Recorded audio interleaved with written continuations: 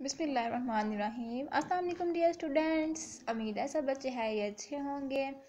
जी grade four ये आपकी computer की बुक है। यकीन है सब बच्चों ने कंप्यूटर की बुक ले ली होगी। चलें जी, हम इसको आज रीड करते हैं। कंप्यूटर क्या है? कंप्यूटर से हमें क्या फ़ायदा हासिल होता है?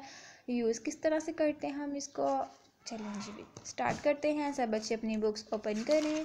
आज हम पढ़ेंगे कंप्यूटर का chapter number first chapter number first में उन्होंने क्या बोला है हमारे पास? व्हाट इज़ कंप्यूटर कंप्यूटर क्या है? ठीक है तो हमने बताया है कंप्यूटर जो है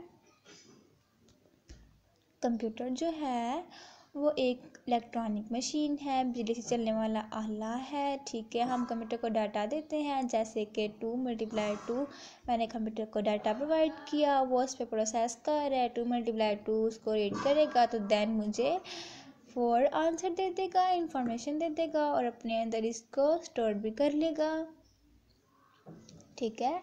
और कंप्यूटर जो है, वो मिस्टेक नहीं करता जो हम उसको आंसर क्वेश्चन देते हैं, उसका करेक्ट आंसर हमें देता है, जल्दी भी देता है और सही भी देता है। कंप्यूटर और कंप्यूटर से हमें बहुत सारे फ़ायदे भी हासिल होते हैं।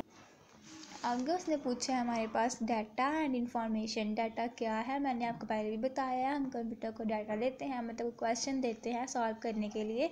तो उसको हम क्या कहते हैं? डाटा ठीक है? और जब वो प्रोसेस करके हमें इंफॉर्मेशन हमें इंफॉर्मेशन देता है तो उस इंफॉर्मेशन कहते हैं मतलब कुछ हम कंप्यूटर को क्वेश्चन दे रहे हैं, जैसे कि थ्री मल्टीप्लाई टू तो हाँ ये कंप्यूटर का डाटा है, मैं उसको डाटा दे रही हूँ, ठीक है, वो कंप्यूटर जो मुझे आंसर देगा सिक्स तो वो मेरे पास आ जाएगी इंफॉर्मेशन आगे देखिए, उसने पूछा है इनपुट इनपुट क्या है? जैसे कि आपके सामने ये दूध एग और मक्खन है तो इससे केक बनता है ना तो हाल ही डायरेक्ट हम, पहले हम बेकिंग, जैसे ओवन को हम देंगे मिक्सचर बना के, तीनों को, तीन चीज़ों को मिक्स करेंगे तो इनपुट हम उसको देंगे ना बेकिंग को।